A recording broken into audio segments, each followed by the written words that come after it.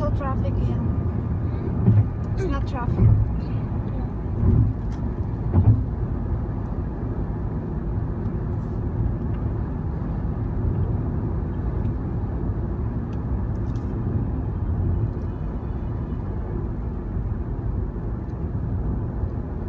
Just wait inside your classroom.